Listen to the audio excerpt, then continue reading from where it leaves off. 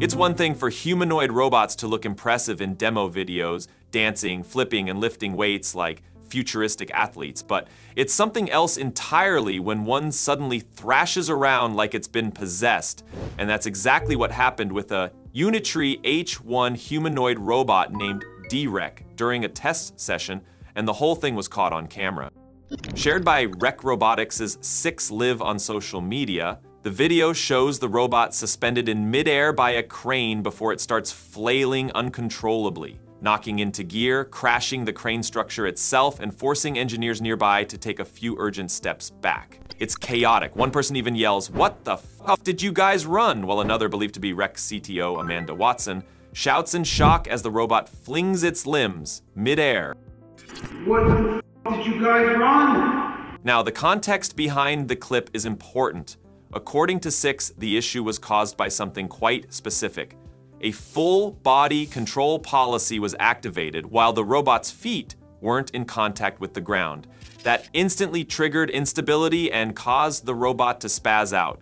Basically, it was like hitting the accelerator on a car while it's up on jacks.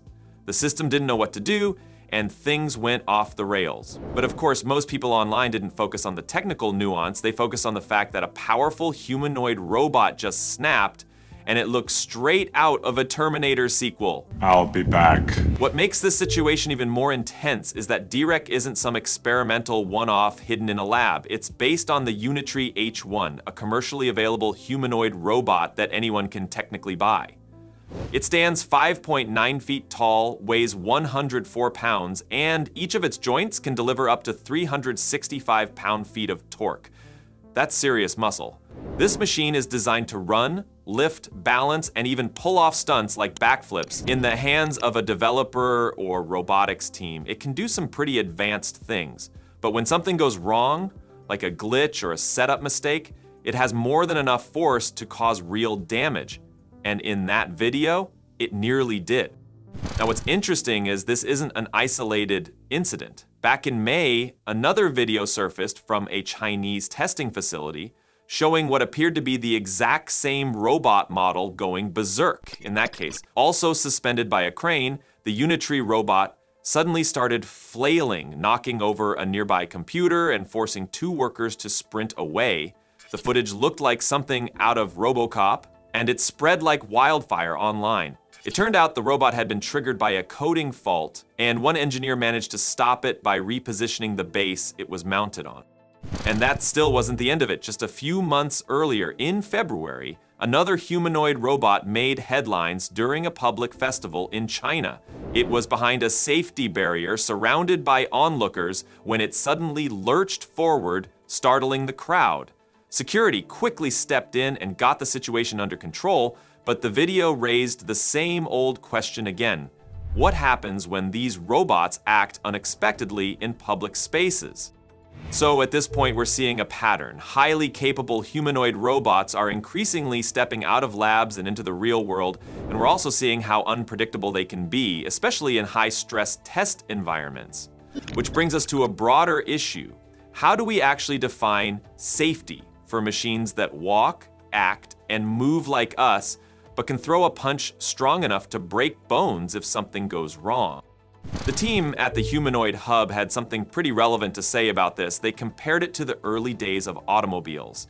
A hundred years ago, there were 20 deaths per 100 million miles driven in the United States. Today, that number is below 1.5. It's not zero, but it's dramatically better. And the same logic might apply to humanoid robots. We're in the early, unpredictable, sometimes chaotic phase.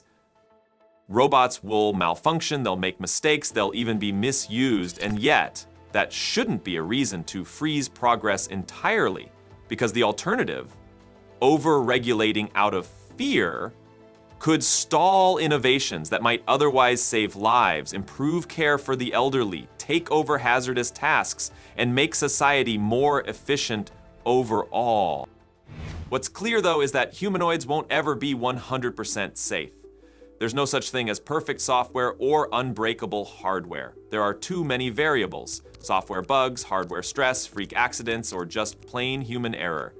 But that's not a reason to abandon the idea. Instead, it's about figuring out where to draw the line. How safe is safe enough? The key might be building out real world data, just like we did with cars, planes, and industrial machines. And that's exactly what China seems to be focusing on right now.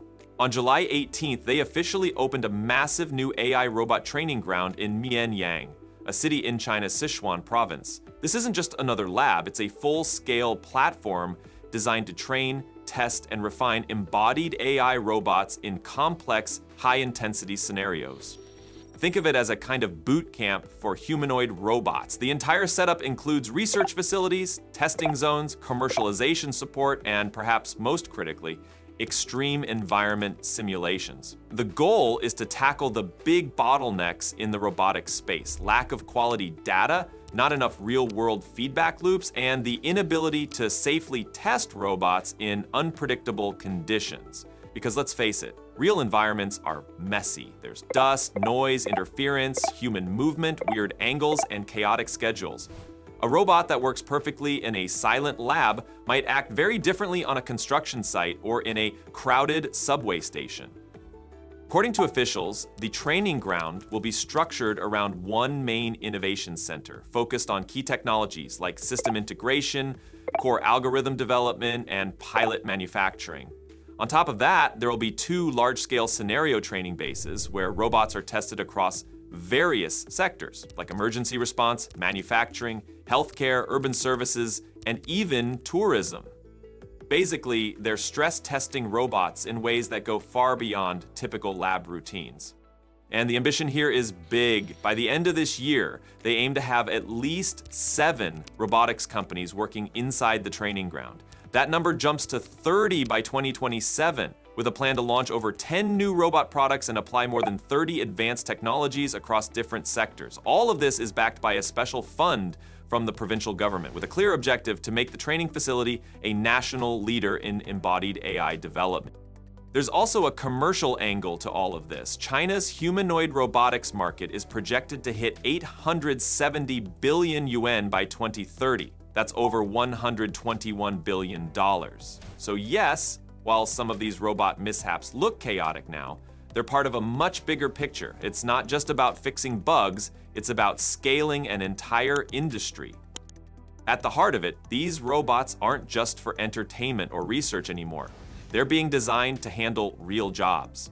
Whether that's lifting boxes in a warehouse, performing delicate tasks in hospitals, responding to emergencies, or even engaging in robot versus robot combat like the Rukai team seems to be leaning into. And that opens up new possibilities, new risks, and a massive need for updated safety frameworks that go beyond just code. Because if these humanoids are going to operate alongside us, whether it's walking next to us on sidewalks or working next to us in factories, we need to make sure we know how to handle them when things don't go as planned. And that means better training systems, smarter fail-safes, clearer regulations, and more transparency around what these machines are actually doing. So yeah, a robot flailing on a crane mid-test is terrifying, but it's also a reminder that we're entering a new era, one where these machines aren't science fiction anymore.